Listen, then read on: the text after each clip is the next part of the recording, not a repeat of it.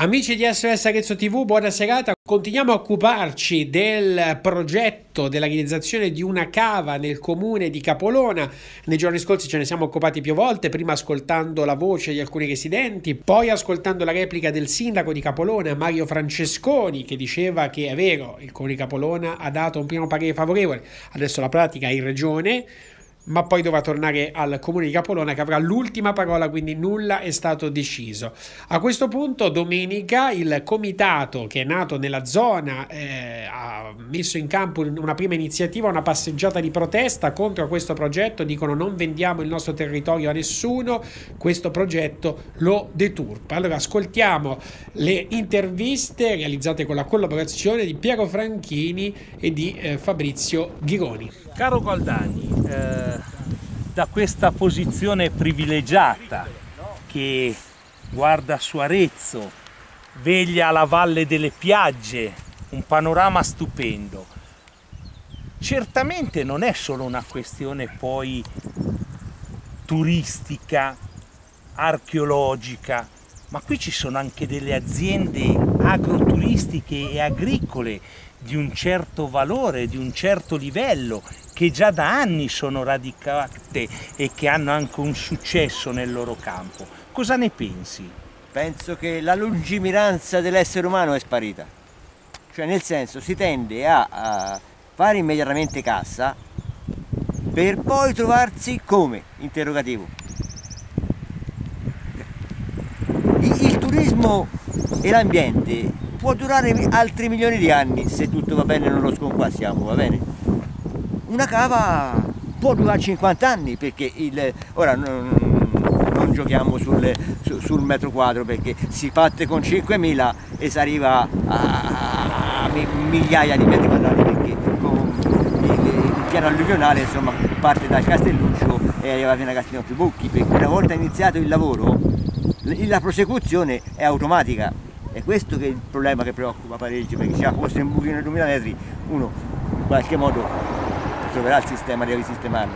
Il problema è che una volta iniziato eh, purtroppo non, non, si finirà più. Non è una questione politica questa, è una questione di territorio. Quest'area non dovrebbe essere usata per farci una cava estrattiva, quest'area dovrebbe essere usata per fare un, un parco, un'area protetta. Qui ci sono eh, come vedete là gente che va a cavallo, è bellissimo, ci sono dei laghi naturali, ci sono eh, dei luoghi che sono anche luoghi di passaggio per, eh, per, gli uccelli migratori, ci sono gli aironi, ci sono le cicogne, si fermano veramente tanti animali, è un'oasi naturale e questa, e questa non può essere usata come un'area estrattiva, assolutamente.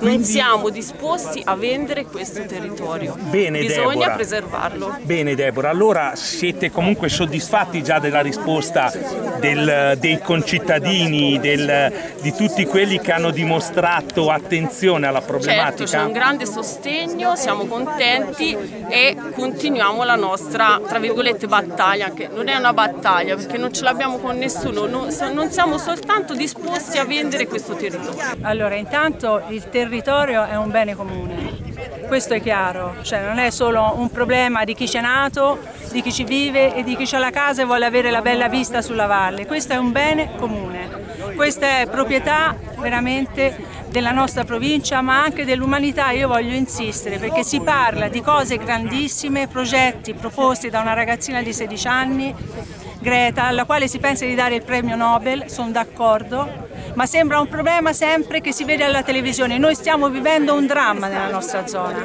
perché effettivamente è uno scempio. Si parla di cose che non si conoscono, si leggono carte e non si conoscono i territori.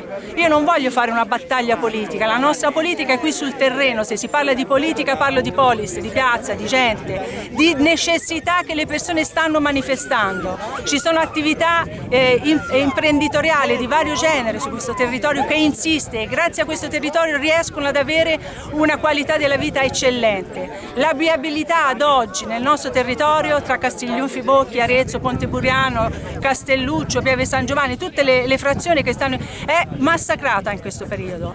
È un, fuori, è un non senso pensare di fare oltretutto una cava con una viabilità devastata, con un ponte buriano da mantenere, preservare e tutelare. Non ci stiamo a queste logiche, non ci interessa un progresso proposto a questi termini, il costo è troppo alto. L'amministrazione eh, comunale di Capolona pensi a fare progetti e non a vendere il proprio territorio. Avete sentito dunque, i residenti sono sul piede di guerra, il comitato farà di tutto probabilmente per scongiurare questo uh, progetto. Continueremo a seguire questa vicenda in quelle che saranno le evoluzioni, ricordando che comunque c'è un iter, un iter che viene seguito in maniera legittima e che quindi al di là di quelle che sono le proteste poi ci sono delle istituzioni competenti che eh, poi metteranno eh, la parola fine in un senso o nell'altro a questa vicenda. Grazie per averci seguito, ci vediamo domani.